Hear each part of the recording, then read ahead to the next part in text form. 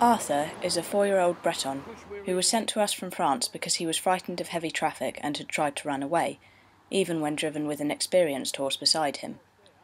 Other films showing the work we have done with him can be seen on our YouTube channel, and here we have taken him downtown and put Sam on the reins to show that she can control him in a rubber bit in heavy, fast moving traffic. Obviously, we cannot drive on the wrong side of the road here but we can do our best to recreate the environment he will be driving in at home, i.e., on the right hand side of the road, with traffic approaching and passing on his left. We have also tucked the carriage behind this road sign, which means lorries will not spot us and slow down as they approach. This allows us to show that Arthur is happy with large lorries and other traffic passing him at speed, which can often be frightening to a horse due to the increased noise, movement, and rush of air that accompanies them. We have asked Sam to hold the reins up loose and put her feet up on the rein rail. This is to show that she does not have any brakes on and is not hanging on to Arthur to get him to stand still. We have put Arthur as a pair to allow Rowley to share some of the load getting into town, which enables Arthur to be fresh and full of energy when he sees the traffic. Exposing him to vehicles under this circumstance is a good test because it proves that he will still listen to us even when he is full of beans. Bear in mind as well that a horse of Arthur's body weight would simply knock Rowley off his feet should he choose to jump sideways if he wanted to shy at a lorry. Therefore he is free to spook or plunge forward should he wish to, but we know that he won't because he is not afraid of the traffic. In olden days, horses were often expected to stand still with no groom at their head and no driver on the reins either. The roads in cities were often busier than this road here, if not just with motorised vehicles, which were noisier than today's electric cars, for example, then with other turnouts passing them at speed as well, which, as no doubt some people will appreciate, can be more exciting and unsettling for a horse than lorries.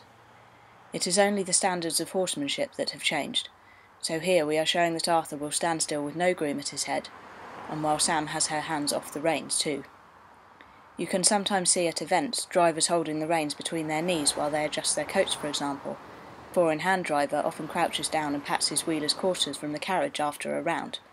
And logging horses often pull noisy loads with no driver on the reins, with their handler walking beside them. So we are showing here that we are confident in the work we have done with Arthur, and his confidence in us as well, that he will stand still happily in such an environment. Although all horses that come to us for training are taught to cope happily with traffic passing on their inside, with horses that come from abroad, or will be sent to a foreign country when they finish their training, it is especially important to prepare them for being driven on the other side of the road. Just as a riding horse can be upset by someone mounting from the wrong side, so a driving horse can be upset by seeing traffic where they are not accustomed to it.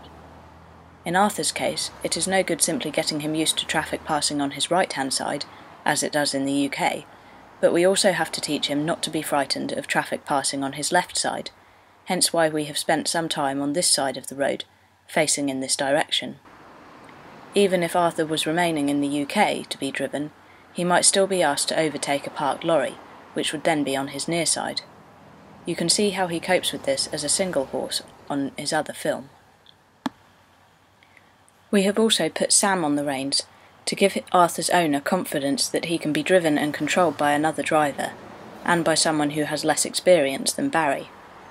Although Arthur's driver is a gentleman, it shows that Arthur does not require a strong pair of forearms to control him in traffic. We have also put Sam on the carriage by herself, which shows she is not relying on a groom to help haul on the reins, or jump down and get to his head. Although it is always a good idea to have an extra pair of hands with you on a carriage, sometimes the groom may not be of any use. So again, to show that we have confidence that Arthur will behave himself with Sam, we have asked her to take him out by herself. He is being driven in a soft rubber bit, a simple snaffle, which shows that we are not using the leverage of a curb bit in order to control him. With these bits, a small amount of pressure applied on the reins is magnified in the horse's mouth, and so gets the desired response, even with the driver using only a little bit of pressure. With our snaffles, there is no curb chain and no extra setting for the reins in order to increase their severity. Therefore, this shows that we have confidence in the training we have done with Arthur, that Sam can control him and drive him safely, confidently, and happily in heavy traffic by herself. Arthur will now go back home to be driven by his owner in France.